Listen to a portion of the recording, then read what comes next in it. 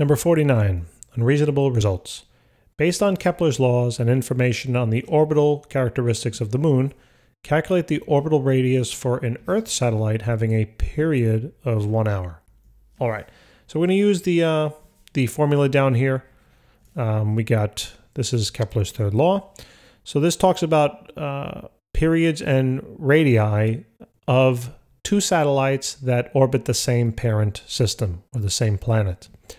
So here I'm going to be talking about the uh, orbital period of the moon, okay, squared, divided by the orbital period of the satellite squared should equal the radius then of the moon cubed divided by the radius of the satellite cubed. All right, so what are we looking for here? They want us to calculate the orbital radius of the satellite. So orbital radius of the satellite is found here. So let's just rework this formula, all right?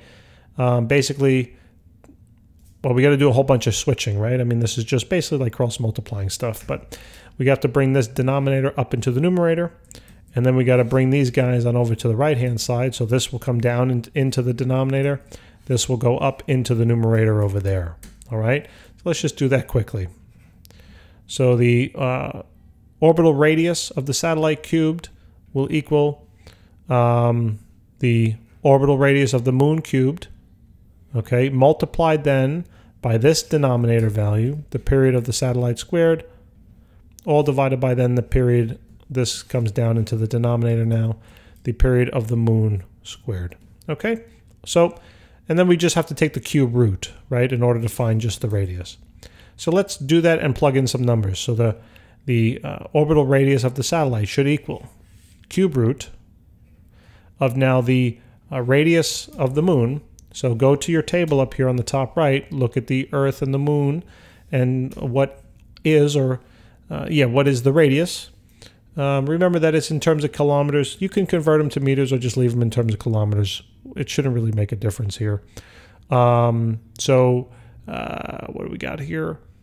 So the uh, radius here is 3.84 times 10 to the 5. 3.84 times 10 to the 5. Remember that's in terms of kilometers. Times then the orbital period of the satellite. Well, they said one hour, right? But just look forward. This period that they give you in the table is in terms of years. So why don't we convert this hour into year? Okay, let's do that first. So 1.00 hours, converting that into years, hour on the bottom, day on the top, 24 hours in a day. The hours go bye-bye and then put day and year, right? 365 days in a year. Days go bye bye, and that's your answer. So simply take 1, 1, and divide it by 24 times 365. Close those parentheses. 1.14, so this works out to be 1.14 times 10 to the minus 4, and that is year. Okay, so this is the period. Great, for the satellite. Okay, so let's plug that in. So now we'll plug that in. So this is 1.14 times 10 to the minus 4. Okay. All divided by then. And oh, let's not forget the cube and square, right? Don't forget that. So this value, we got to cube it. Otherwise, we're going to be way off.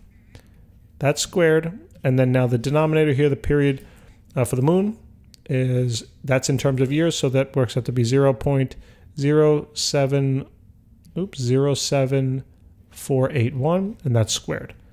All right, guys, so just plug it into the calculator. Let's give it a go.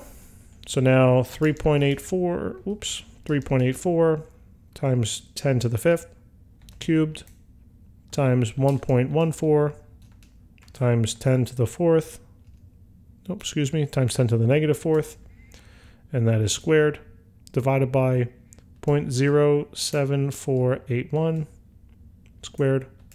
And then take the cube root. You can also just raise it to the one-third power. That's the same thing. So here we have, this works out to be 5,000 and about 90. 5,090 if I consider rounding. Um, uh, this is in kilometers, okay? Just realize though that's in kilometers because I used kilometers, all right, in uh, as my um, uh, orbital radius for the moon. So this is 5,000 kilometers. That's the radius of the orbit. So it says, what is, uh, so letter B, what is unreasonable about this result? Well, here's the Earth, guys. Okay, here's the Earth.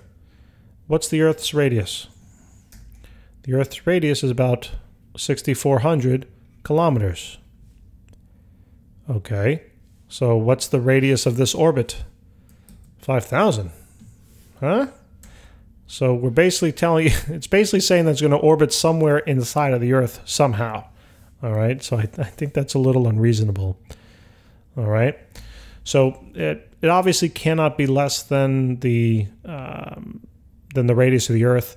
Just know that the radius, you know, your answer here is in terms, you know, it's from the center of the parent system.